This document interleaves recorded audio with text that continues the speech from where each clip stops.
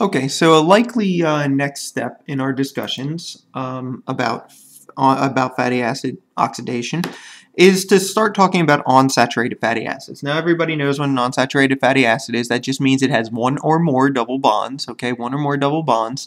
So it's an unsaturated fatty acid. And really, there's not too much of a difference, okay? It's going to go through beta oxidation, you know, very, and actually in the beginning of this pathway, it's going to go through beta oxidation the exact same way it did previously. But the big difference here is the type of bond we're dealing with, or the double bond that we're dealing with.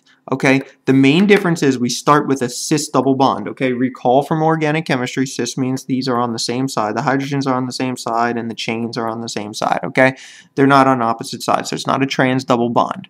Okay, this is a cis double bond, and the enzymes for fatty acid oxidation or for beta oxidation only work on trans double bonds. Okay, so we have a problem. Here we go. Here we have this. Okay, we have seven carbons here. So and that and that's interesting right here. So I, uh, I'm saying that this is seven CH2 molecules before we get to this um, trans, uh, rather cis double bond here. Okay, so before we get to this cis double bond, we got seven carbons here.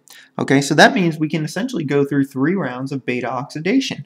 Okay, remember, recall, each round of beta, beta oxidation removes two carbons two carbons become the acetyl-CoA. Okay, so each one removes two carbons. That's a total of six carbons. And that leaves us with this molecule here. Okay, we end up with cis delta 3 enoyl CoA. Okay, so now look, we lost the we lost the six carbons here. See, we had seven here. Okay, we lost six of those. We have one left.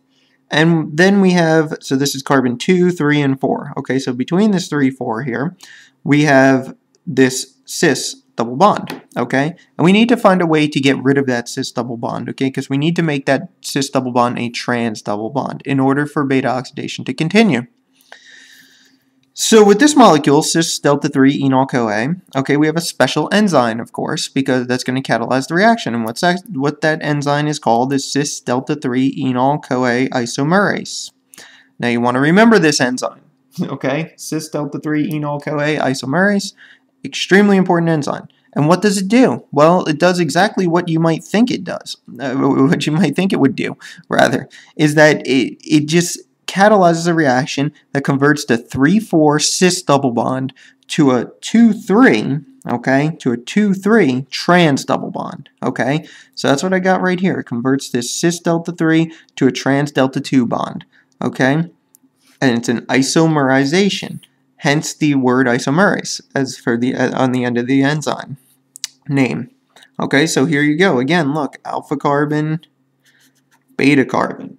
Again, we're back to those same two carbons, and now we have this trans double bond here. Okay, and we can now go back through our process of hydration, and then another oxidation reaction, and then the thiolase, and we can break this down. Okay, so this can go through beta oxidation. So that's how you handle um, unsaturated fatty acids.